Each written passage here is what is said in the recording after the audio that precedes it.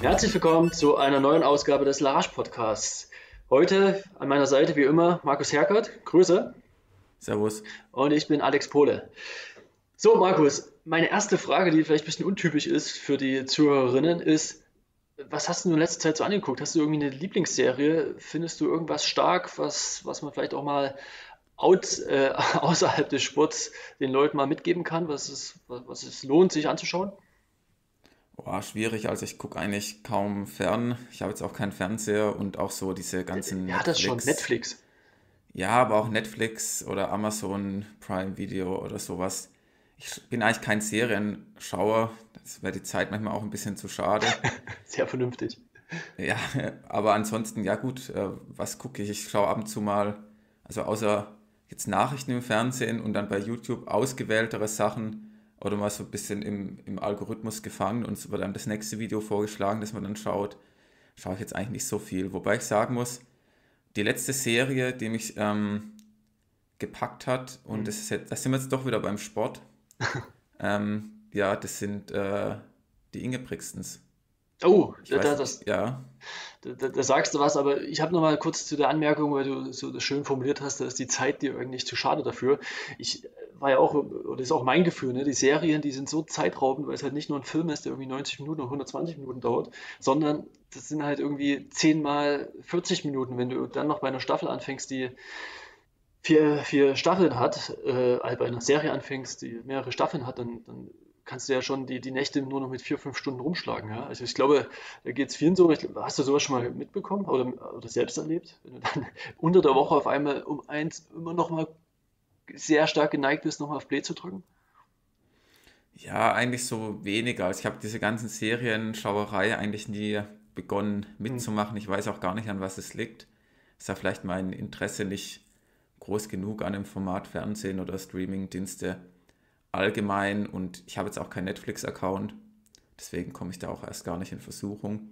Aber ja, ich habe schon von vielen gehört, dass man dann halt eine Folge nach der anderen schaut und ähm, ja, natürlich ist es auch eine, eine, gewisse Form von Sucht. Es kann ja auch was Schönes sein, wenn man da so in dieser Welt gefangen ist und ähm, ja, sich das so ein bisschen da rein versetzt. Ja.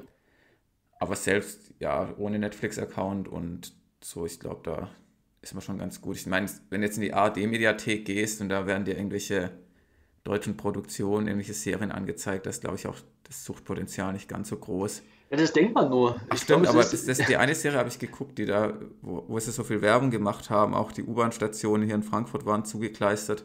Ja, ist noch Babylon mal, Berlin oder sowas? Genau, das, das, das heißt. Siehst du, sage ich doch, hast du doch geguckt was. ja, wobei ich sagen muss, auch da habe ich jetzt nicht da ich dann eine Folge mal geguckt, vielleicht noch eine zweite, dann war auch wieder gut, dann ist irgendwann so das Limit erreicht. Ja, geht mir auch so. Ich hatte nur mal über Weihnachten zur Vollständigkeit hier Piggy Blinders, glaube ich, ein, zwei Staffeln angeguckt und ja, das reicht dann auch, ja, wenn, wenn sich die irgendwie. Aber spannend ist natürlich so die Charakterentwicklung und so weiter, wo wir auch beim, beim Thema wären. Ähm, weil ich bin jetzt irgendwie hängen geblieben bei den ganzen Ingebrigtsens-Geschichten. Da werden wir vielleicht auch dann nochmal ein bisschen später, ein bisschen ausführlicher zu sprechen drauf kommen, weil mir das gar nicht so bewusst gewesen ist. Äh, erstens, wie, wie früh diese Serien schon begonnen haben. Dann zweitens, was man da sieht, finde ich, finde ich spannend. Und ähm, haben wir uns heute auch mal vorgenommen, das mal ein bisschen euch zu präsentieren, weil das schon irgendwie sportlich und so weiter erstaunlich ist, dass es ein, ein staatliches Fernsehen in dem Moment, und in dem Fall das norwegische, äh, da irgendwie schon seit fast zehn Jahren dabei ist, diese, diese Familie zu begleiten. Ja? Und da sieht man eben auch, auch einen Jakob, der ist da zwölf, ja, oder ja, ich glaube zwölf geworden in dem Jahr, 2012. Ähm, und ja, total jung und auf einmal fünf Jahre nee, wie viel? Neun Jahre später ist er Olympiasieger. Also das so kontinuierlich mitzuerleben, total spannend. Ich habe es noch nicht alles geschaut, das ist natürlich auch, hat so viel Suchtpotenzial, dass, dass meine Woche nicht ausreicht, um da alles zu sehen. Ähm, aber das, das war, war spannend und du hast ja auch schon immer mal hier in der, also im Podcast gesagt, dass du da immer mal reingeguckt hast. Ich habe jetzt natürlich das chronologisch angefangen und bin halt ganz an den Ursprung mit Episode 1 äh, eingestiegen. Ja, ist ja gar nicht so einfach, weil es gibt jetzt auch keinen ja. YouTube-Kanal oder irgendeine Streaming-Seite, wo man das dann einfach so gucken kann. Aber ich habe ja bei Weihnachten habe ich das tatsächlich gesuchtet. Also ich habe ähm, innerhalb von einer Woche das, ja, oder zwei Wochen komplett angeschaut von ja, Staffel 1, Episode 1 bis zum Ende. Da muss man Quatsch. ein bisschen auf YouTube rumsuchen, doch, doch, ähm, dass man es auch mit englischen Untertiteln bekommt, weil mein Norwegisch ist jetzt nicht so gut. Ähm, ja, aber das war schon was, das kannst du auch so nebenher gucken, dann machst du ein bisschen mal stabile Gymnastik und ähm, ja, dann schaust du da noch eine Folge Ingebrigtsen dabei. Ist jetzt nicht so komplex wie eine andere Serie mit tausend Charaktere. Man muss irgendwann ein bisschen eine Übersicht über den Familienclan haben, wer wer ist und ähm, wie alt und so. Und ähm, ich meine, der Vater Gerd leitet einen ja dann schön durch die Handlung. Ja. Der ist der Regisseur und ähm, der Hauptdarsteller eigentlich, mehr oder weniger. Auch würde ich sagen, der Lieblingscharakter von den meisten Zuschauern wahrscheinlich. Und ähm, ja, ich finde, da hat man einfach vieles so mitbekommen, wie die so ticken, was nicht nur was sie trainieren, sondern einfach so ein bisschen wie die Einstellung von denen ist. Und ja, ich, natürlich zeigen die jetzt nicht alles, aber es sind schon auch in Momenten dabei, das Kamerateam, als kurzer Schwenk, ich musste da an die Szene denken, wo ja der Jakob ähm, bei der U20-Europameisterschaft, ich glaube es war 2017, nee, 16. 2008, Ach so, Europameisterschaft. Nee, hm. es war 2017, wo er doch da gestürzt ist und dann ja, so am Boden zerstört war und dann saß er dann neben dem Aufwärmplatz und auch da ist dann halt das Kamerateam dabei und filmt ihn da, wie er den Tränen nahe ist. Es sind schon einige Momente, wo, wo die echt immer dabei sind, auch jetzt in den nicht so schönen Momenten. Also es ist keine Hochglanzproduktion. Ja, ja, ähm, nicht so viel zuvor wegnehmen. Also wir haben ja, ja, ja, ja. heute uns da mal vorgenommen, uns da mal äh, ein bisschen näher damit zu beschäftigen und das auch ja, ein bisschen strukturierter anzugehen. Also das mal schon als Vorwegnahme. Aber der Hintergrund ist auch die, die letzte Folge, wo wir äh, uns mit dem Bastian Mochen sehr intensiv um das Schwellentraining beschäftigt haben. Und irgendwie geistert das bei uns schon ja, stärker die ganze Zeit so äh, immer mal wieder als, als Themenfetzen, wenn man es so nennen möchte, ähm, ja, eine Gedanken rum. Und die letzte Folge hat uns also ein bisschen nochmal Klarheit gebracht und auch so die, die, die, Aufrufe, die wir jetzt da sehen, äh, zeigt einfach, dass das schon ein Thema ist. Erstens, was gesucht wird, zweitens, was uns, wo dann immer mal ein paar Nachfragen kommen. Wir werden da auch nochmal ähm, gezielter äh, auf, auf den Instagram-Kanälen und so weiter nach euren Fragen noch mit Fragen so dass wir das dann auch noch mal ein bisschen tiefer äh, mit einsteigen können. Äh, es scheint, wie gesagt, da das, das Thema zu sein. Und ja, deswegen auch heute nochmal, äh, Markus, weil du mich ja auch schon wieder hier mal instruiert hattest, dieses ganze Schwellentraining und die Schwellenbestimmungen, aerob, anaerob etc. Ähm, ich kenne es ja auch noch als, als Sportwissenschaftler nur so marginal. Ich habe ein paar andere Themen in den letzten paar Jahren gemacht, aber äh, die ganze Bestimmung, Kurvenbestimmung und so weiter und so fort, nimm uns doch da nochmal mit. Du hast da ja ein bisschen dich nochmal reingelesen in die Fachliteratur. Ja, das, das fragt jetzt der Sportwissenschaftler. Den, den, den, den, den Politikwissenschaftler, genau so ist es. Ich ja, musste auch schmunzeln, aber den angehenden Lehrer, deswegen, von daher, äh, der Lehrer muss ja didaktisch jetzt das, das, das, das, gut griffig bereit haben. Außen kalten, ja, gut, sofort ich, einen kleinen Vortrag machen. Ja, insgesamt, was man so ein bisschen über Schwellentraining weiß, denke ich mal, ähm, ja, so, oder was man vorab mal so ein bisschen gelesen hat in den ganzen Büchern zu Lauftraining und Trainingswissenschaft, habe ich jetzt nochmal ein bisschen auf dem Uniserver geguckt. Da sind ja auch die ganzen Dissertationen und ähm, sonstigen Papers online einsehbar. Und da habe ich mal ein bisschen so gelesen, wie denn auch Laktatbestimmung funktionieren kann und welche verschiedenen ja, Methoden da herangezogen werden. Also zunächst mal wird ja häufig so ein Stufentest gemacht, entweder auf dem Laufband als Stufentest oder Abbruchtest hinten raus oder eben als Feldtest. Das ist dann Laktattest draußen auf der 400 Meter Bahn im Stadion. Und im Prinzip möchte man ja die Schwelle rausfinden eines Athleten. Ja, an, de, an dem Punkt, Alex, das kannst du vielleicht auch äh, noch ein bisschen besser erklären. Ja, vielleicht dort kleiner Einhaker. Äh, die, die Schwelle beschreibt genau das, wo nicht genügend Sauerstoff zur Verfügung steht, um das Laktat, was ja immer gebildet wird, sobald man sich sportlich aktiv bewegt, entsprechend abgebaut werden kann. Und damit übersäuert über kurz oder lang der, der Muskel und damit äh, fällt dir natürlich die Bewegung und die saubere Bewegungsausführung und die schnelle Bewegungsausführung wird dir immer schwerer fallen. Ja?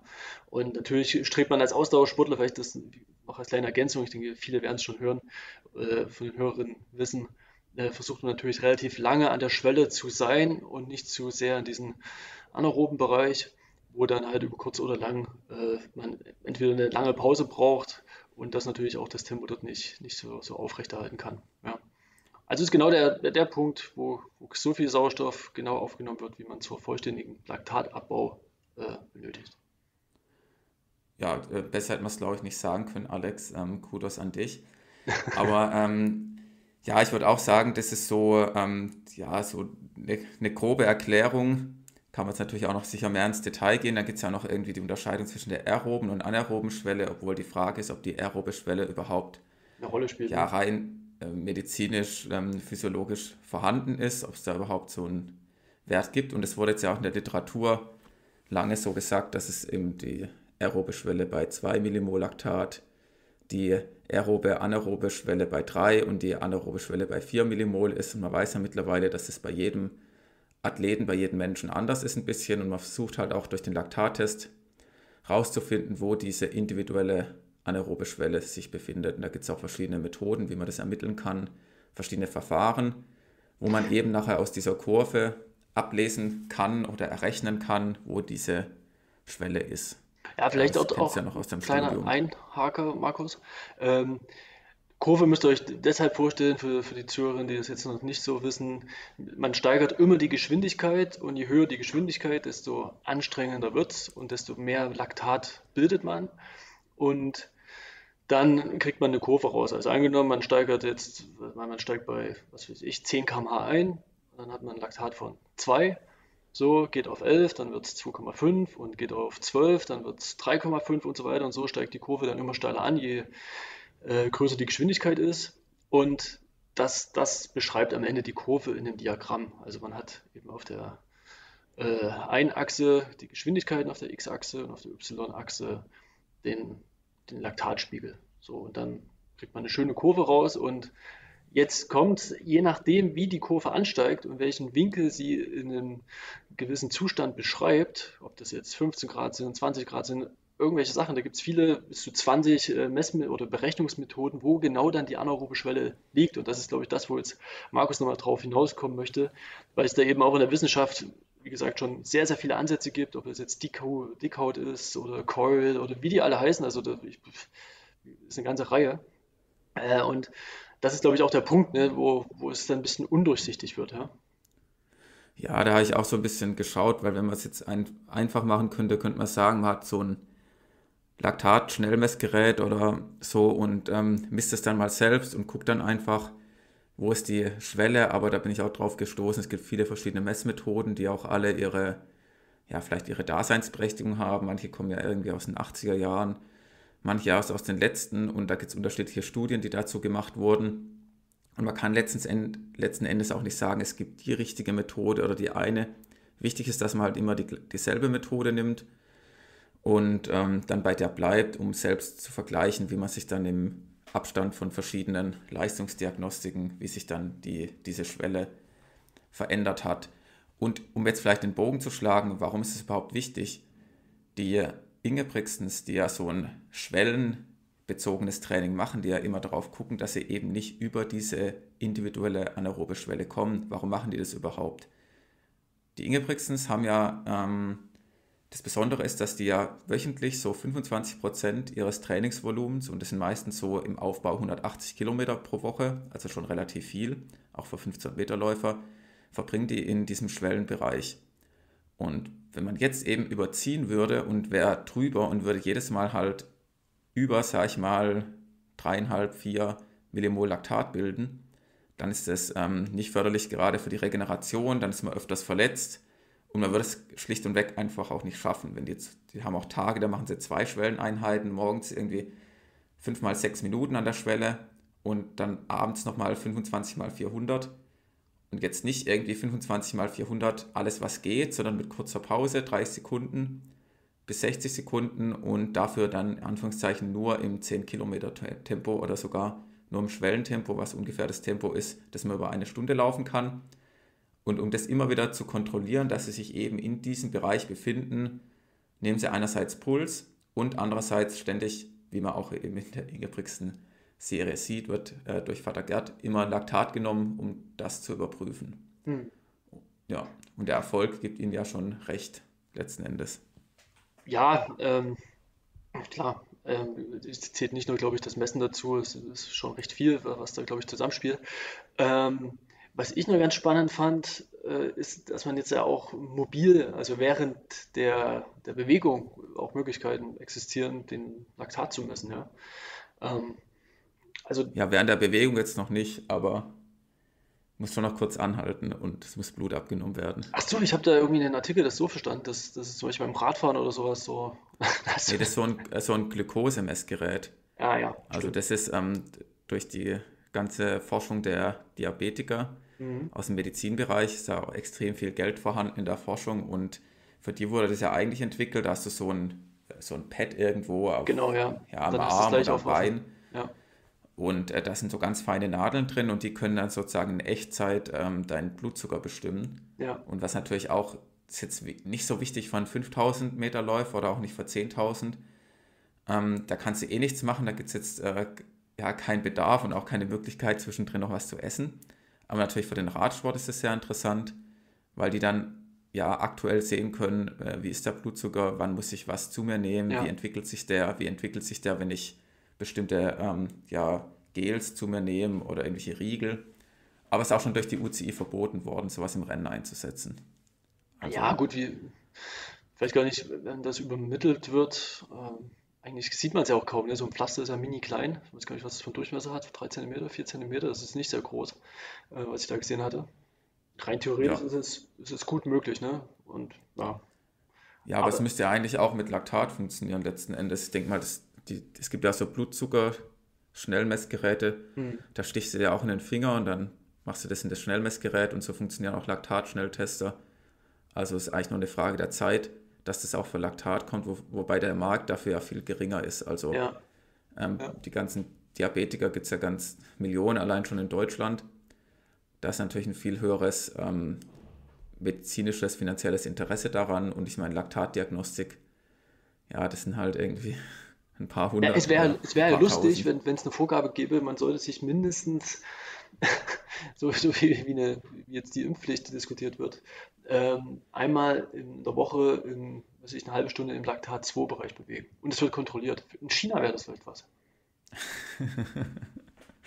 genau, dass insgesamt in der Bevölkerung die, ähm, die Schwelle verbessert wird. Ja, ich ja. meine, das sind jetzt Vorstellungen, man lacht dann so, äh, weil es so absurd ist, aber es ist, so soll es gar nicht jetzt klingen, es ist einfach nur krass, was, was am Ende gemessen werden kann und wie viel Kontrolle man auch darüber erhalten könnte. Ne? Und, und, und ja, also ich finde es immer wieder erstaunlich. Ne? Es ist auch schon mit den ganzen Polaruhren, die Pulswerte und dann Fitnesslevel und und und. Ne? Das ist, ist ja Ruhepuls, äh, Herzfrequenzvariabilität etc., was ja auch immer schon indirekt. Ja, vor allem der, du sagst jetzt Polaruhren, das ist ja eigentlich gar nicht der Markt. Gell? Also am Ende sind es ja dann Polar ja. und Garmin, aber der Riesenmarkt sind halt dann äh, die, die Uhren von Samsung und von Apple, die halt auch ja. die Nicht-Sportler anhaben und da wird trotzdem der ganze Tag der Puls gemessen, weil eine Apple Watch, mhm. die ähm, zieht sich auch jemand an, der mit Sport gar nichts am Hut hat und die hat ja trotzdem einen Pulssensor, der besser funktioniert als bei jeder Polar und bei jeder Garmin letzten Endes. Ist das so? Auch wieder, ja, von dem, was ich bisher gelesen habe, also es ist tatsächlich so, bei uns im Schwimmen zum Beispiel haben auch viele gesagt, äh, dass die auch am besten die Schwimmbahn zählt. Das macht die Apple Watch besser als jede Garmin und jede Polar. Ebenso ist die ähm, optische Pulsmessung am Handgelenk bei der Apple Watch am besten. Habe ich auch schon so im Internet mal in Testberichten gelesen. Und auch das GPS ist am besten. Also das ist eigentlich, am Ende ist es so, dass es viele ernsthafte Sportler nicht nutzen, weil die keine Tasten hat und ja. nur irgendwie so eine Touch-Bedienung. Ach, vielleicht hat die auch eine Taste, ich kenne mich da auch gar nicht so gut aus, aber sie ist auf jeden Fall nicht nur für den Sport eine ausgelegt. Eine Krone, eine schöne Krone, worüber man alles bedient. Das, ja, das irgendwie, irgendwie sowas. Und ähm, der normale Sportler hat auch dann ganz seine Uhr mit den fünf Tasten und die ein bisschen, ja, auch blind zu bedienen ist oder ein bisschen durchfühlen. Aber die ganze Technik, die in der Apple Watch steckt, die ist natürlich viel besser. Also die ist Garmin Polar weitaus überlegen. Und ähm, ja, das liegt aber auch daran wiederum, wie bei dem Vergleich zwischen Blutzucker und Laktat, weil da einfach ganz andere Budgets vorhanden sind. Ja. Und dort eben auch anders eingekauft werden kann, anders geforscht werden kann. Ja, also der ganze Gesundheitsmarkt ähm, ist natürlich ein, ja, einfach, ein, einfach ein Riesenthema, ja. Ich wollte nur nochmal, was ich vorher äh, sagte, mit diesen äh, Messen und so weiter, das, das ja, es ist ja sowieso schon sehr, sehr ausgeprägt, speziell im Sport, weil man natürlich mit vielen Daten auch ähm, ja, versucht, die zu interpretieren. Und gleichzeitig auch mit, den, mit, den, mit der Schwellengeschichte und so weiter, wo es halt auch wieder ganz viele Daten sind und man halt dann doch wieder versucht, irgendwie die Schwelle anders zu bestimmen, was vielleicht dann wieder zielgerichteter ist. Aber ähm, gleichzeitig gibt es auch den berühmten Satz, wer viel misst, ja, misst auch viel Mist. Ja, also Ach, Alex, das wollte gerade, wo ich sagen, das war der Lieblingssatz von meinem Physiklehrer damals. wer viel misst, misst viel Mist. Mir lag es gerade auf der Zunge. Ähm, ich denke, es ist schon auch so, dass es, ähm, also diese ganzen Leistungsdiagnostiken, die auch angeboten werden, ähm, sind teilweise schon auch echt Bullshit und hinsichtlich dessen, dass du dann einmal dorthin gehst, dann gibt es irgendwelche Werte und dann gehst du nach Hause und denkst so, okay, also ich habe letztens mit einem geredet, der läuft so 10 Kilometer in 38 Minuten. Ja, und der war halt bei der Leistungsdiagnostik und die haben eine V2 Max gemessen von 48. Und dann kann ich einfach nur sagen, das kann nicht stimmen. Ja, mhm. also mit der V2 Max von 48 rennst du keine, keine 38 Minuten. Und ähm, ja, die haben das auch mit Spiro gemacht und sonst was. Und da hängen halt auch viele, viele Faktoren wieder zusammen. Und die Trainingsbereiche, die dann am Ende rauskommen, muss halt eine Minute langsamer rennen, als er es jetzt macht. Und damit ist ihm auch nicht geholfen. 250 Euro zum Fenster rausgeworfen. Hm. Aber die Ingebrigtsens, die machen es ja, um jetzt nochmal hin zurückzukommen. Ja, die machen das natürlich halt auch nicht so, sondern die, die messen es ja dauernd, dauernd und ständig. Das heißt, wenn die mal einen Ausreißer haben an einem Tag, es gibt es ja auch so, wenn du zum Beispiel krank wirst oder wenn du total erschöpft bist oder wenn du jetzt am Tag vor dem Laktattest ganz lange Ausdauerbelastung hattest, kannst du am nächsten Tag gar nicht so viel bilden. Das heißt, deine, du kommst gar nicht über 3 Millimol Laktat rüber, weil du so breit bist, kannst aber trotzdem einigermaßen schnell rennen. Ja. Und dann kommen auch völlig verfälschte Werte raus. Und diese ganzen ja, Umstände, die könnt ihr eigentlich alle eliminieren, weil der Gerd halt von Anfang an das misst und die Werte hat und er weiß halt, wie er die zu interpretieren hat und was es bedeutet. Und ich glaube, das ist der Riesenvorteil, ist dieser Erfahrungsschatz, den so wahrscheinlich kaum ein Trainer über so viele Jahre hinweg hat, was die Diagnostik betrifft. Und wenn jetzt zum Beispiel vor dem Wettkampf ähm, ein Schwellenprogramm machen, fünf mal sechs Minuten und dann hat der Jakob nach dem ersten Laktat von fünf, dann weiß der Gerd genau, das richtig einzuschätzen. Liegt es jetzt vielleicht am Wetter, liegt es, ist es eine fehlerhafte Messung und guckt sich nochmal den Puls an und der zieht dann halt auch die richtigen Schlüsse. Und ich glaube, das ist das A und O, die Werte richtig zu interpretieren und das geht nun mal nur, wenn man über Jahre hinweg einen Athleten betreut und den auch gut kennt und dann weiß man auch, was mit den Werten anzufangen. Ansonsten ist es halt ja, hast halt einen Wert und dann ja, ja. ist aber auch gut. Ja, das ist, das ist ja auch das, ähm, was, ja, was es, glaube ich, gut auf den Punkt bringt. Ne? Die Trainer durch die jahrelange Erfahrung und so weiter, das ist einfach so das Wichtige und ähm, das wird ja auch gesagt und, und zum Teil auch kritisiert. Ne? Das ist zum Beispiel jetzt in Deutschland auch, was die Langdistanztrainer betrifft, jetzt gar nicht so eine riesengroße Breite gibt und auch ja, so eine ganze Mittelgeneration gar nicht so richtig da ist, ja, die halt Ahnung hat von so einem so eine Training, also ich sag mal, Großtrainingssteuerung, also da fehlt so ein bisschen die, die Breite. Und ähm, weil du kriegst das nur über die Erfahrung mit. Ja? Und jetzt alles nur wissenschaftlich, wie rein theoretisch irgendwas zu funktionieren hat, ähm, reicht ja dort an, bei weitem nicht aus. Ja? Und gerade wenn, wenn ihr der, dein, dein Sportler oder dein Kumpel, was du sagtest, 38 Minuten, dann kriegt er eine 48 als maximale Sauerstoffaufnahme mitgeteilt. Da, da ist er ja im Boden zerstört, oder? oder genau, das hat er gesagt. Er hatte hat den, den Zettel eh weggeschmissen, hat, und er wusste schon auch, dass es nicht stimmen kann, hat ihn aber trotzdem ziemlich deprimiert. Hm. Und ja, das ist dann halt auch, ja, damit fängst du ja am Ende gar nichts an. Ja, und, also, und, am Ende war die Maske nicht richtig auf, er hat die ganze Zeit nach links und rechts Luft gezogen oder so, oder die ist defekt gewesen oder was auch immer. Ne? Also ähm, schwierig. Es ist auch jetzt aus der Ferne natürlich schwer zu beurteilen, aber so ein Resultat, also wenn ich das, also was ist ein 48? Das ist ja, das hat auch jeder, oder? Du das? Ja, das habe ich dann auch gedacht. Ähm, ich habe dann mit jemand drüber geredet und der hat so gemeint, ey, mit 48, da kannst du nicht mal Treppe gehen oder so. Ja, genau. Also vielleicht also auch so ein, ist ein bisschen die Sportlersicht. Ich habe so eine Tabelle mal dann angeschaut, V2 Max bei ja, normal, normalen Menschen, die jetzt nicht Ausdauersport machen. Das bewegt sich dann schon halt irgendwie auch zwischen 30 und 45 und alles drüber ist super. Also ja. ähm, ist jetzt nicht so, dass jeder, der draußen rumläuft, eine V2 Max von 50 hat da gibt es auch welche, aber gut, man kennt es ja auch, wenn dann jemand ähm, schon beim zwei Stockwerke hoch und dann ist er völlig außer Atem. Der hat dann halt auch keine 48, keine 45, der ist halt eher bei 30. Leben kannst du damit trotzdem. Und ähm, da haben wir als Sportler schon so ein bisschen ja, andere Aber Werte, die es wir. sind jetzt hier unverifizierte Werte. Mit 30 kann man trotzdem leben. Das das klingt gut. Ja, so zumindest die Tabellen, die ich gefunden habe. Da ist, dann, okay. ist zwar dann schon ein bisschen schlecht, aber ähm, ja, bist jetzt noch nicht auf der Intensiv und hängst dann ähm, am Sauerstoffgerät, das noch nicht. Ja. Noch nicht ganz. Naja, ja, ja, ich glaube, wir nehmen das Thema auch äh, jetzt in der nächsten Zeit mal mit, werden auch äh, mal einen Trainer, der einen sehr erfolgreichen Athleten betreut, dazu nochmal gezielter befragen, weil es uns jetzt doch irgendwie die letzten Zeit auch ja, immer mehr so, so dahingestoßen hat und ähm, deswegen ist es heute so, so ein bisschen, ja, bisschen Gelaber, aber auch äh, gleichzeitig das eine oder andere, was, was, was wir schon rausgefunden haben, was wir euch mit präsentieren wollen. Ja. Gut, ich ja, hoffe, und, ihr könnt ähm, das entsprechend einordnen, aber jetzt freue ich mich ja, dass wir nochmal thematisch den kleinen Schwenk machen und gehen mal zu den Ingebrigtsens rüber. Das ist, ja, wir haben jetzt, jetzt schon mehrmals angeteasert. Klingt so, als ob die jetzt Gast wären. Ja, ja, leider, leider nicht.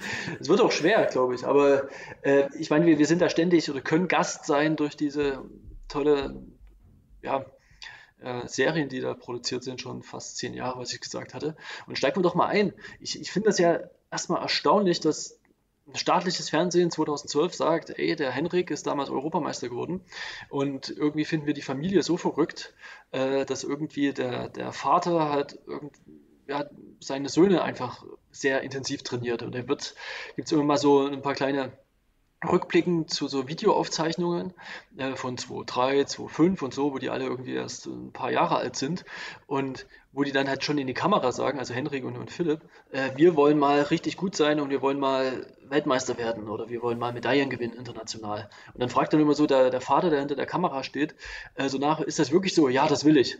Und dann muss man wissen, die Ingebrigtsens äh, haben ja noch zwei, also Henrik ist der drittälteste und die zwei Älteren, die waren auch schon so sportlich. Und nee, bei denen, ich glaube, ich glaub, der Martin, der hängt irgendwo dazwischen, dachte ich. Ah, das, das ist, kommt nicht, das ist nicht ganz raus. Ich glaube, dass der Christopher der mhm. Älteste ist, dann kommt der Hendrik, dann der Philipp, dann kommt der Martin, dann der Jakob, dann die Ingrid und dann ah, stimmt. der William. So rum, du, du hast recht, genau. Und äh, was ganz interessant ist, dass eben der, der Martin und auch Christopher, die ja waren schon talentiert, wenn du die so siehst. Da, da gibt es halt so Aufnahmen, das ist echt irre, ne? so wo die mit zehn sind in irgendeiner Tiefgarage und machen dann vor der Schule noch äh, so, so Skirollertraining und, und Techniktraining, Klassik und, und, und Skating und so weiter. Da habe ich mich natürlich sehr angesprochen gefühlt, weil ich genauso durch die Gegend gerannt bin. Aber jetzt nicht in der Tiefgarage, sondern halt äh, als Technikschulung. Und der, das sieht alles schon total gut aus. Also das waren jetzt auch keine untalentierten Le Kinder oder so, sondern eher haben die, waren die, haben die halt nicht so für die Sache gebrannt und irgendwann sagt halt Gerd, das natürlich auch ein bisschen klingt, klingt romantisch, wenn man das mal so, so sagen möchte, dass er sagt, na gut, Henry, gut, Philipp, wenn ihr das wollt, dann bin ich bereit und, und kümmere mich darum, dass ihr gut werdet. Ja. Ja, muss ja auch dazu sagen, die anderen haben es ja schon auch so ein bisschen versucht. Also der Christopher hat ja auch ähm, dass er auch am Anfang hat auch so Sport gemacht und hat dann einfach an einem Punkt erkannt, das ist nichts für ihn und ja, das ist zu viel Aufwand und das wurde dann auch nicht weiter forciert. Er konnte dann sozusagen aufhören und ein ganz normales ähm, ja, Teenager-Leben führen.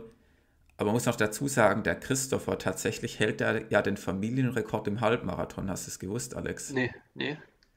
Und der Christopher, der ist auch bei Strava, hat auch einen öffentlichen Account und der ist tatsächlich so die letzten Wochen eigentlich immer so 100 Kilometer gerannt mhm. und ist jetzt beim Halbmarathon eine 1,15 gelaufen. Ach, krass. Ja. Ja, also so, der hat jetzt auch nicht die typische Läuferfigur, der ist so ein bisschen, Untersetzt, bisschen ne? schwerer vielleicht, ja. ja. Und der hat jetzt auch nicht den Background, aber trotzdem, der, der trainiert jetzt auch richtig schönes Laufen. ja, aber das war schon so, dem wurde es natürlich jetzt was heißt aufgezwungen, wurde es dann niemand, aber der Gerd hat schon eben in der Kindheit geschaut, dass die alle mal verschiedene Sportarten durchprobieren, aber an einem gewissen Punkt, da hat er den Jakob ja gefragt und die mhm. Ingrid auch, das ist dann später in der Serie, er wollte das wirklich machen. Und dann sagt er auch, wird wirklich, ihr wisst genau, wenn er das macht, ihr könnt kaum auf Partys gehen, Freunde treffen ist schwierig, ihr müsst. Urlaub, also, genau.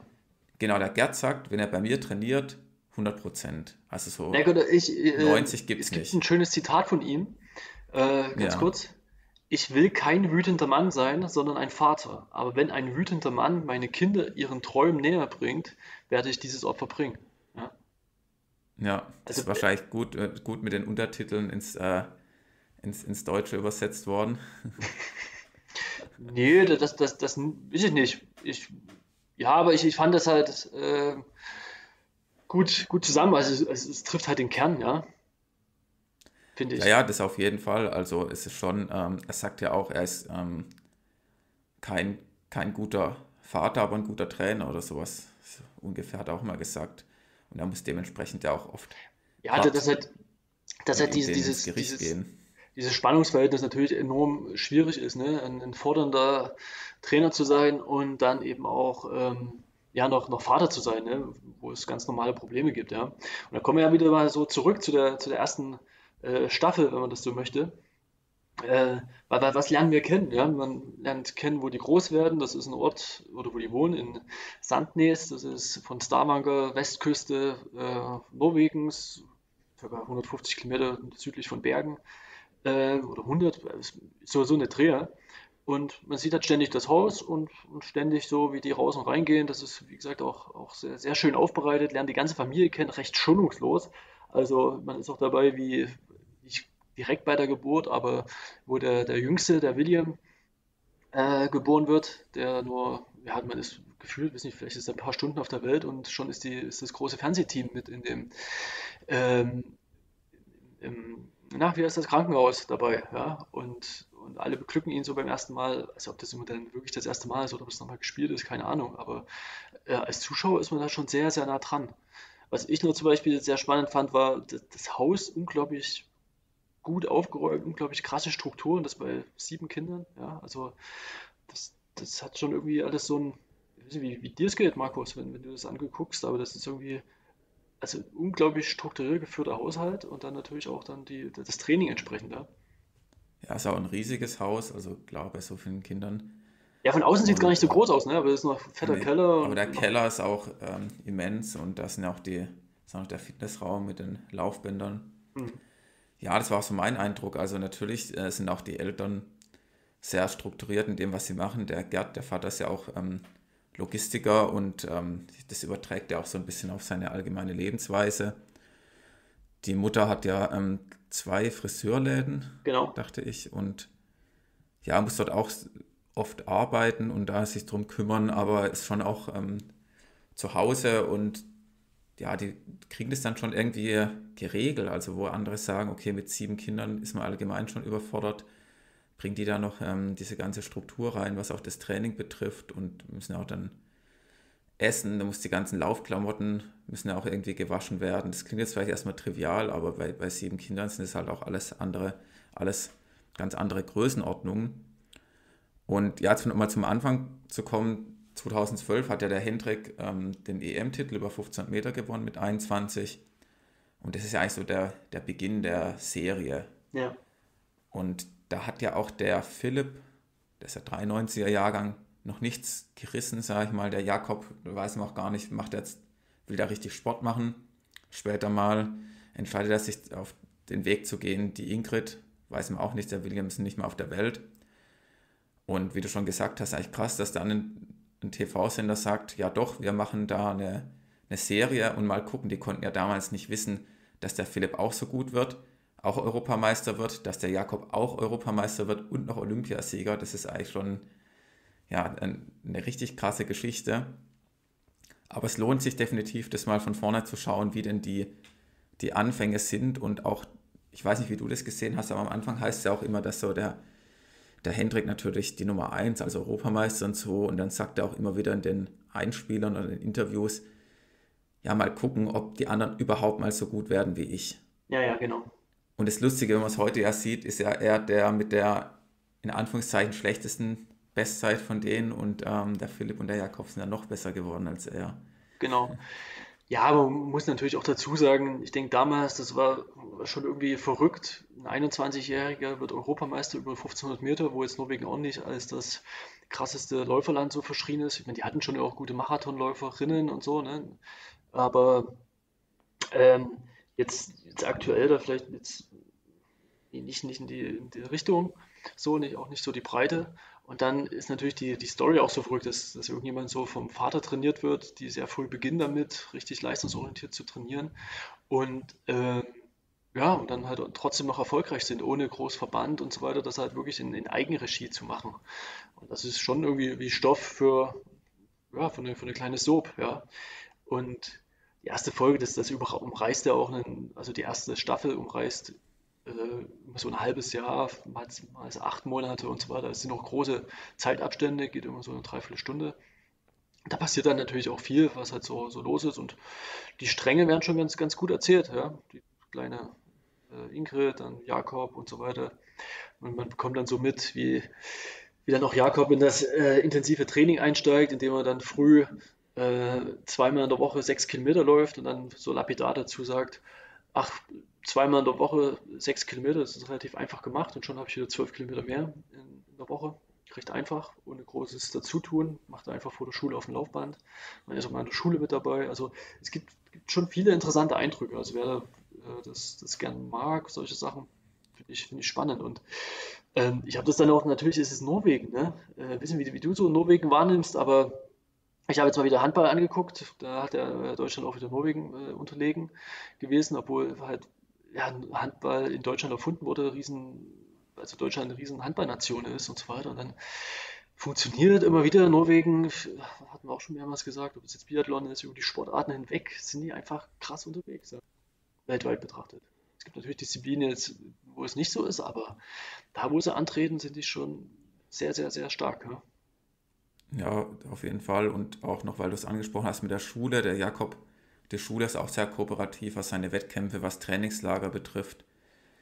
Die, ähm, ja, die wissen jetzt ja auch noch nicht, dass er Olympiasieger wird, aber da bekommt er auch schon relativ viel Freiheiten, ähm, den Lernstoff dann auch im Trainingslager ja, zu lernen und danach natürlich die Klausur zu schreiben. Das ist auch noch so eine Sache, dort wird da auch, ähm, wo wir in Deutschland da hören teilweise, dass sich auch die Universitäten, obwohl es ja eigentlich noch freier ist jetzt als Schule, was die ganzen Strukturen ja. betrifft, aber dass sich da auch schon bei teilweise Kaderathleten querstellen und sagen, nee, das funktioniert dann halt nicht. Ja, das funktioniert dort und ähm, ja, ist natürlich auch ein ungemeiner Vertrauensvorschuss, der dem Gerd gegeben wird. Und das sagt er auch, dass im Prinzip er mit dem Hendrik am meisten gelernt hat und dass es dann bei jedem seiner Kinder weiter verfeinert hat und verbessert, was man jetzt auch sieht, dass der Jakob der Beste am Ende ist. Das heißt ja auch nicht, dass er unbedingt am meisten Talent hat, aber er weiß schon genau, wie er mit dem trainieren muss und welche Einheiten dann halt funktionieren, welche weniger. Und er hat ja schon so seine eigene Wissenschaft halt auch für sich rausgefunden. Also ich glaube, so viel so viele Studien gibt es gar nicht oder es gibt gar keine einzige vergleichbare Studie zu dem, was Gerd mit seinen Kindern gemacht hat, was jetzt diese ganze Leistungsdiagnostik, Laktat betrifft, Puls und diese ganzen Beobachtungen, die er hat, das ist eigentlich schon auf dem Niveau definitiv einmalig. Und da wird er halt dann auch also da gibt es ja zum Beispiel auch so Sachen, muss ich ja, kurz gut, mal, aber, äh, Alex, ein kurzer Exkurs noch. Ja. Und zwar, die machen ja 300er als im wettkampfspezifischen Tempo, also im 1500 Meter Tempo machen die 300er. Mhm. Zum Beispiel 10 Stück und mit ähm, einer Minute Pause und die dann halt, ja, Wettkampftempo und ähm, teilweise dann auch ein bisschen schneller. Also bei 300, irgendwie gibt es das Gerücht, der Jakob hätte dann 10 Stück in 39 gemacht, das kann auch schon gut sein ist ja schon eine 52 auf 400, wäre schon sehr schnell. Aber bei vielen Einheiten schaut zum Beispiel der Gerd, dass die nicht über Laktat 7 kommen. Mhm. Und jetzt kann ich dich fragen als Sportwissenschaftler, was ist Laktat 7 von der Grenze?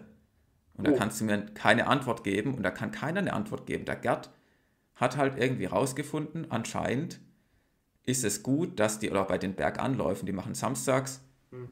Berganläufe an so einem Hügel, der jetzt auch nicht so steil ist, ähm, eine Minute hoch und dann Trabpause runter, zweimal zehn und da guckt der Gerd, dass sie nicht über sieben kommen. Aber warum? Das kann man jetzt sportwissenschaftlich gar nicht so konkret beantworten. Da gibt es jetzt keine, keine Schwelle bei Laktat 7 oder nicht irgendwas, aber er hat anscheinend herausgefunden, dass es ganz gut ist. Und da ist auch im Internet, im Let's Run Forum, da fragen sich ja auch die Leute, was ist denn jetzt Laktat 7? Aber da, der Erfolg gibt dem Gerd ja anscheinend recht. Mhm. Dass er über die Jahre herausgefunden hat, das ist anscheinend ein Wert, der bei seinen Söhnen da funktioniert und da sollten sie nicht drüber kommen. Ich weiß nicht, wie es dir ging. Ich kenne das von früher, dass eigentlich Äh, es gibt ja dieses GA2, ne? GA2, EB haben wir das, Entwicklungsbereich hatten wir dazu gesagt, ist ja so an der Schwelle dran, oder? Kennst du das auch so? Ja, aber das wäre dann eher so Laktat 4 oder. Richtig, so. Und, und dann Ja. drüber gibt es dann immer nur noch halt, äh, also wir hatten da so GB gesagt, Grenzbereich Training und da bist du jetzt noch nicht in, in Wettkampfbereich gewesen, aber du hast halt schon dich nahezu ausbelastet, ja. Und dann war es halt, okay, entweder vier oder drüber und damit halt was, was geht im, im, im, am Ende, ne? Meine, jetzt hier, wir haben es ja auch schon häufig mit, mit Marcel gehabt, Marcel Fair, der hat gesagt, er konnte im Training, wenn er dort all out gehen muss, dann ist er immer 20 Sekunden langsamer als dann nochmal im Wettkampf, ne, wo er dann halt durch diesen, durch die Umstände und so weiter nochmal fähig ist, wesentlich mehr abzurufen. Aber da nochmal so eine Zwischenabstufung zu bekommen, kenne ich nicht. Das klingt irgendwie auch spannend, ne, was, was Laktat 7 sein kann. Weil wenn du halt dann GB machst und bist gut drauf, dann bist du halt auch ruckzuck mal bei 10 oder 11 oder irgendwas, ne? 12. Ja, eben, oder man orientiert sich dann ja auch gar nicht mehr so am Laktat, dann sagt man einfach, okay, man guckt auf die Zeiten, Genau. bisschen aufs Körpergefühl und das, das war es dann am Ende.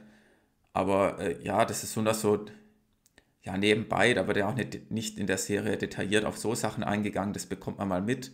Man Ja. sieht mal, wie das gemessen wird und was der Gerd dazu sagt, dass er auch dann äh, dementsprechend reagiert, wenn jetzt jemand im Training übertreibt. Das, was wir jetzt halt auch so von Bastian aus der letzten Folge mitnehmen können, er schaut schon auch immer, dass die gebremst werden, dass jetzt nicht die sich gegenseitig pushen. Das ist ja bei drei Brüdern dann extrem hohe Gefahr, dass man dann, Ja.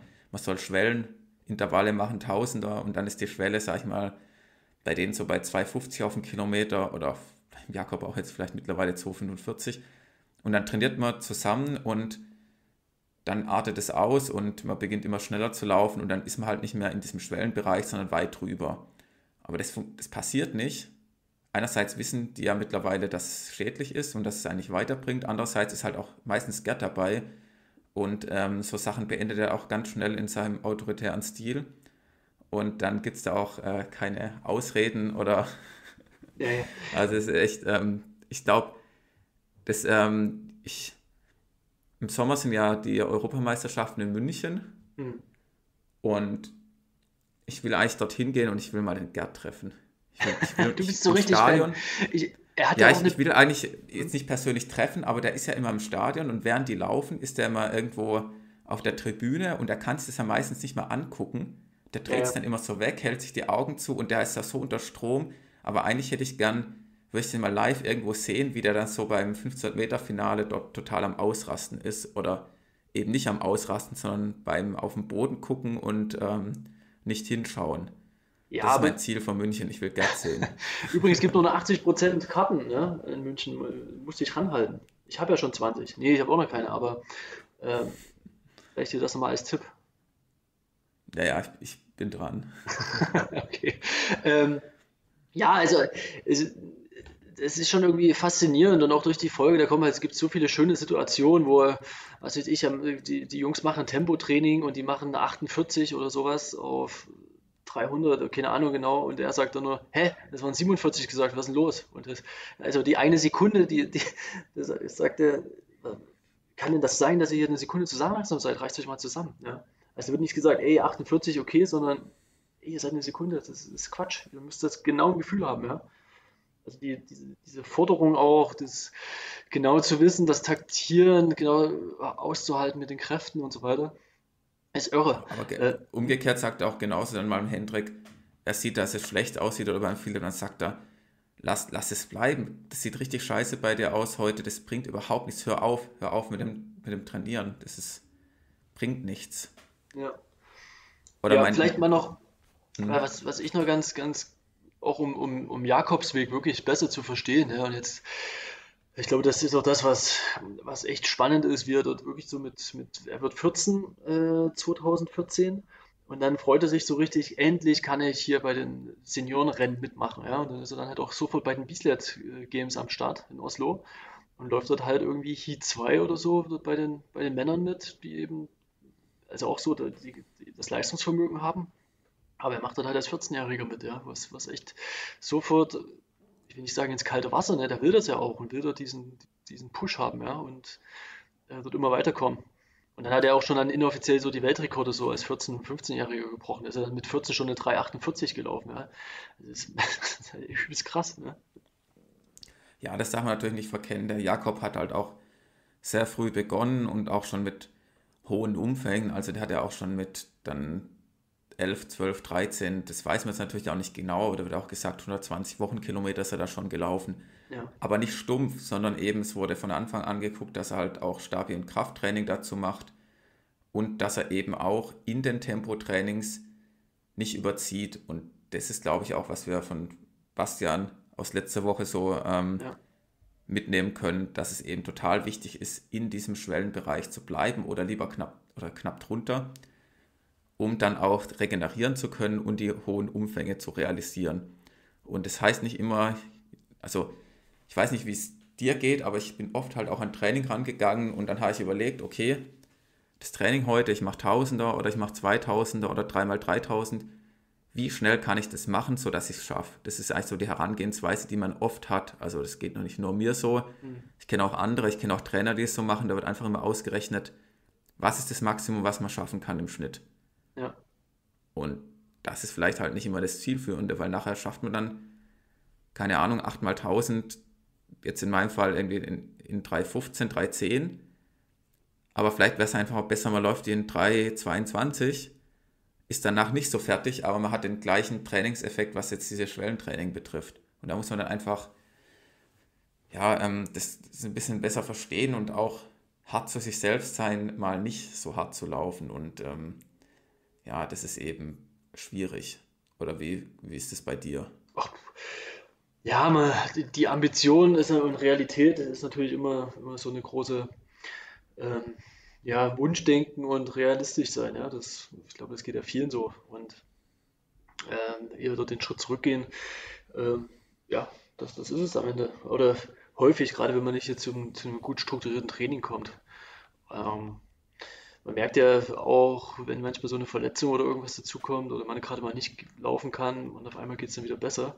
Also es gibt, gibt da viele Sachen. Ähm, ich glaube, die, die wissen schon ganz genau, wann hartes Training ist und dann wird auch hart trainiert und das muss auch so sein, gerade was die Tempohärte betrifft. Aber du kannst halt nicht nur hart trainieren, ja.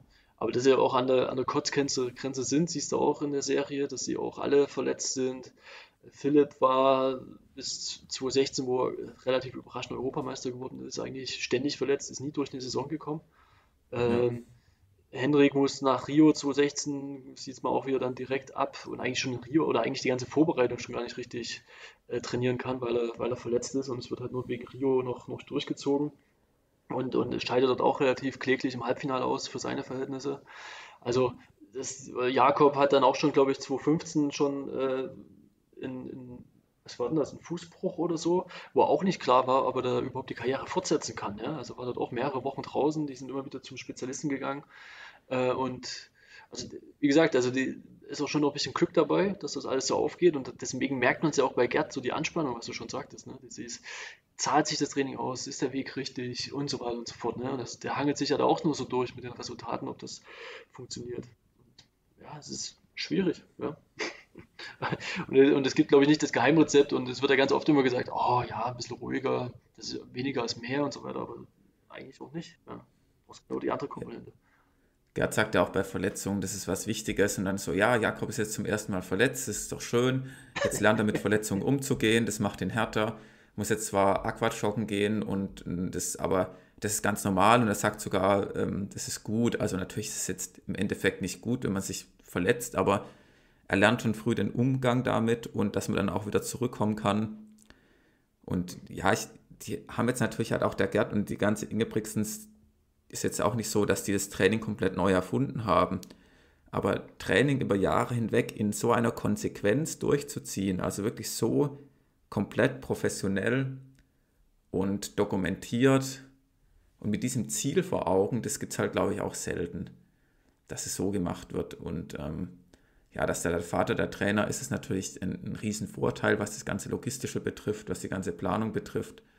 Und deswegen, wie ich auch schon gesagt habe, sagt er auch, er ist ein guter Trainer, aber nicht so ein guter Vater, weil beides kann es natürlich nicht sein. Mhm. Da geht es auch darum, dass sie ins Trainingslager gehen und dann sagt der Philipp, naja, ich würde gerne am, keine Ahnung, am 22. fliegen, weil ich habe am 21. noch einen Termin und sagt er, Gerd, nö, wir fliegen am 20. des Trainings darauf ausgelegt, wir können keinen Tag hin und her, wir fliegen am 20. Ist mir scheißegal, was du da hast.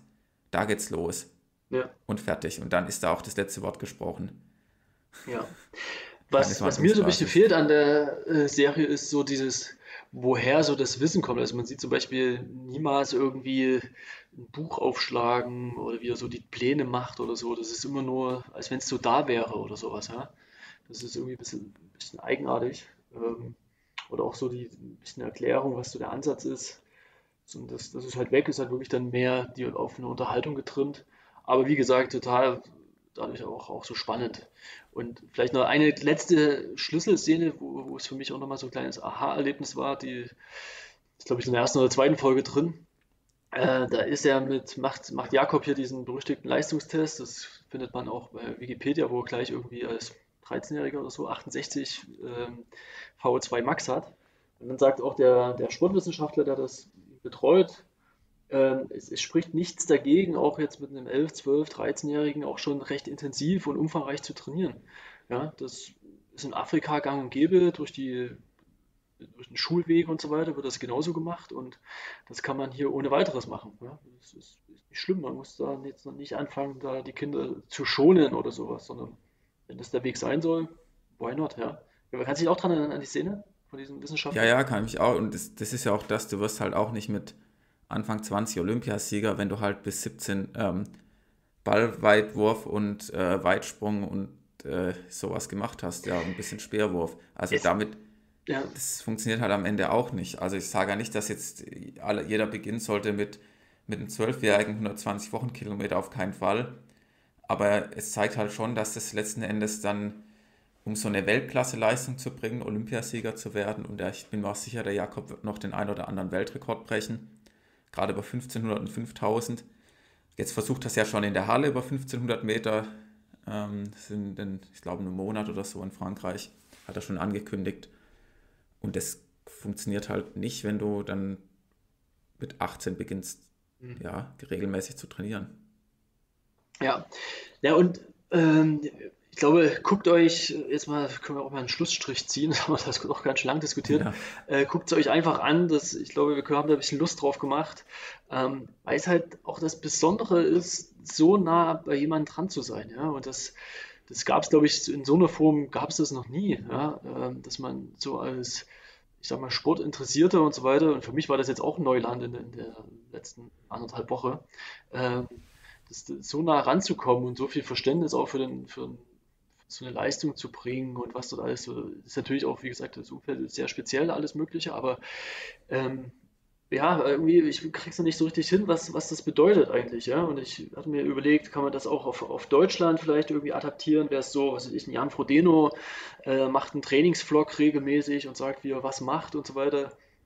Oder ist das wieder ein bisschen eine andere Generation von, wie, wie man damit umgeht? Also ich krieg's noch nicht so richtig eingeordnet, aber auf jeden Fall ist es äh, guter Content und positiver Content. Besser als, ich nicht, ich will jetzt nicht sagen, Babylon Berlin ist scheiße, aber ähm, ich finde Bewegung und eine Gesellschaft, die grundsätzlich auf eine gewisse Gesundheit achtet, schon sehr attraktiv. Ja, ja es sind halt schon noch immer große Zeitsprünge drin, dadurch, dass dann auch mal eine, ähm, ja, eine Episode mehrere Monate umfasst oder ein ganzes Jahr, wird man da so ein bisschen mitgenommen vom Trainings, von der vom Beginn der Saison zum ersten Trainingslager, zum zweiten, zu den Bislett Games, die ja jedes Jahr vorkommen, ähm, weiter zu dem internationalen Saisonhöhepunkt und dann, ähm, wie sie wieder von dem Saisonhöhepunkt nach Hause kommen.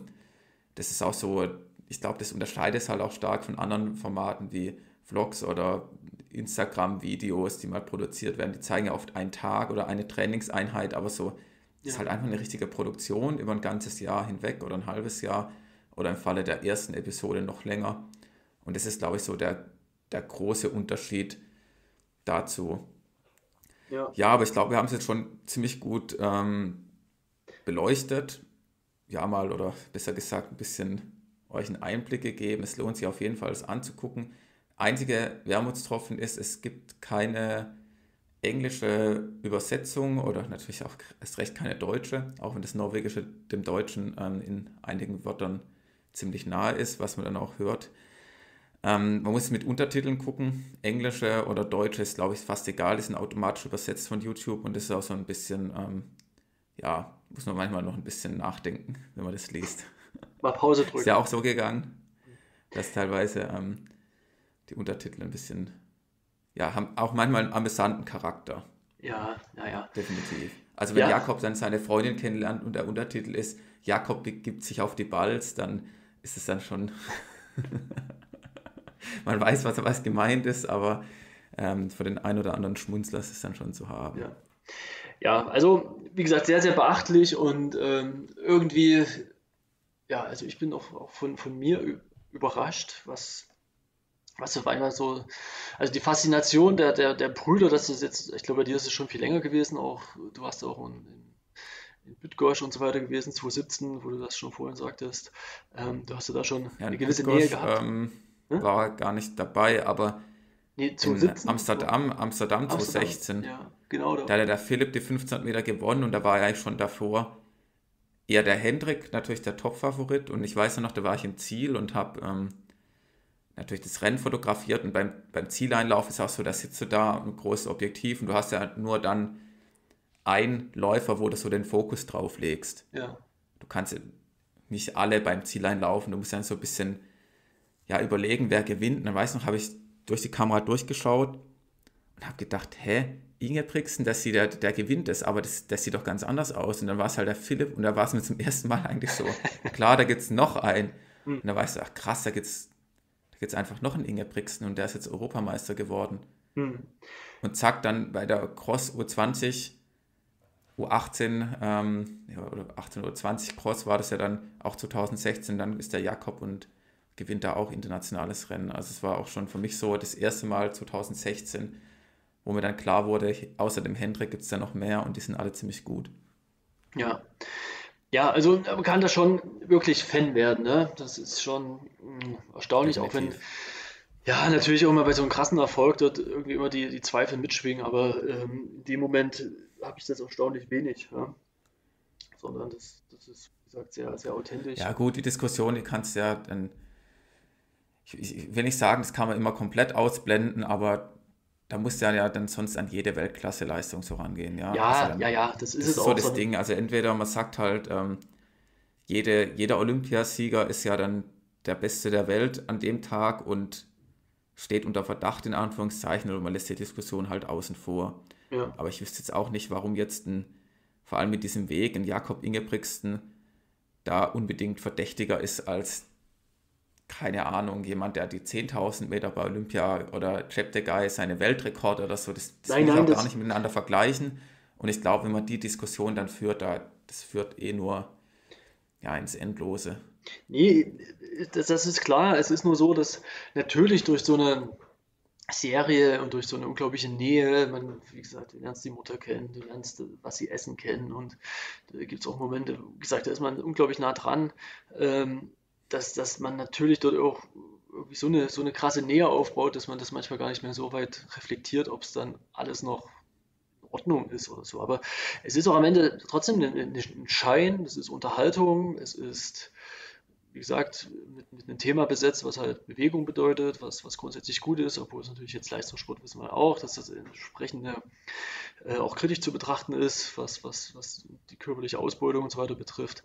Aber es, es macht einfach Spaß und das ist das, was, was hängen bleibt. Und ich meine, unser Herz ist nun mal so auf, auf die Ausdauer gemünzt, ne? Und das ist einfach, haben wir auch ein sehr, sehr großes Faible, genauso wie die Zuhörerinnen. Ja. Das ist halt einfach so.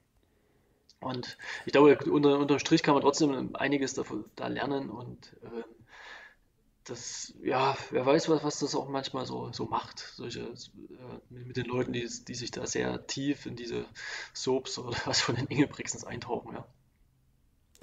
Ja, ich denke, weil jetzt ähm, haben wir auch genug darüber geredet. Schaut es euch mal an oder schaut es euch auch nicht an. Ist auf jeden Fall eine Empfehlung.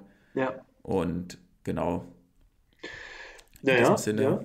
Und ach, was Ja. total sympathisch ist, ist ja auch, dass auch so ein bisschen Offside kommt. Äh, Ich wusste, Henrik wird als, als großer Pink Floyd-Fan offensichtlich, also hat immer ein T-Shirt an und es hat sogar ein Tattoo vom Pink Floyd-Album Dark Side of the Moon, das ist dir bestimmt auch auf, aufgefallen. Nee, der, der, rechts unterm, unterm rechten Arm so an der Seite, da wo hier Je. Jesus Einstichstelle ist, so fast. Aber Das war ja links eher. Ist mir, ist mir nicht aufgefallen tatsächlich. Guck geachtet. noch mal hin, guck noch mal hin, da ist ja dieses, dieses Prisma, Hm. wo, wo das wo, wo der Lichtstrahl äh, so ge gestreut wird. Werde ich nochmal machen.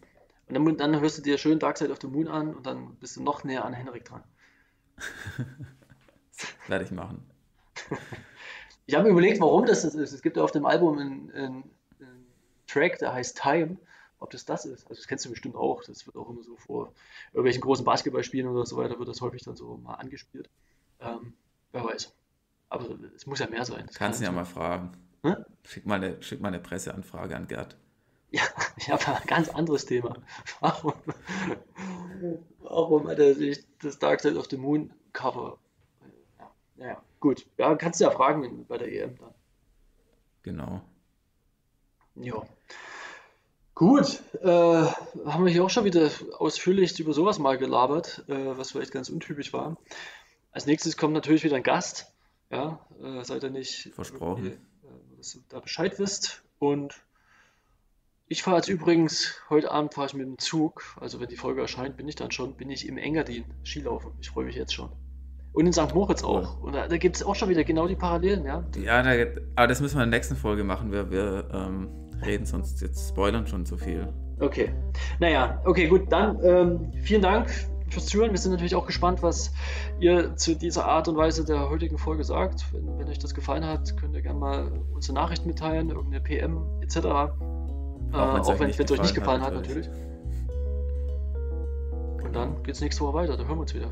Bis dahin. Tschüss. Ciao.